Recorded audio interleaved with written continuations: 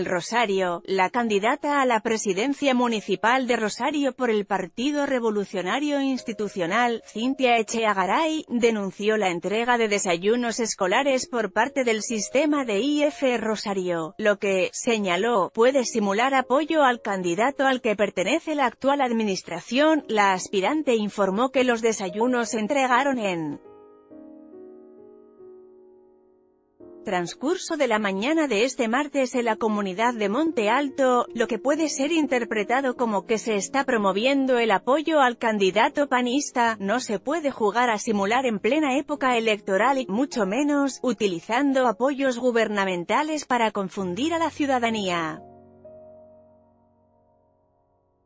Estos hechos solo pueden manchar el proceso electoral y hacerlo de manera ventajosa al entregarse casa por casa, agregó la candidata, que también mencionó que estos mejor se deben entregar en las escuelas. En el comunicado, la abanderada del PRI pide la intervención de las autoridades electorales a fin de que pongan un alto a estas acciones, foto, cortesía.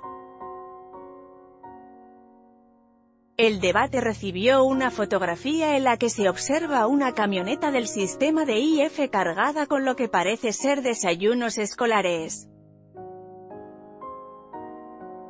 Lo niega todo sin embargo, Gilda Berenis Pedraza Vizcarra, directora de sistema de IF, negó que los desayunos estén siendo entregados a las casas como lo denunció Cintia Echeagaray, sino que están siendo repartidos en los planteles educativos de la zona.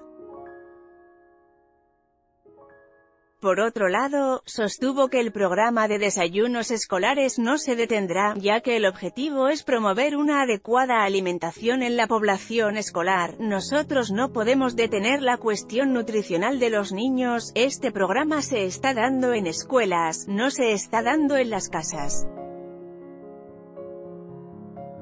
En esta nota, El Rosario Cintia Echeagara y Desayunos Escolares de IFE Elecciones 2018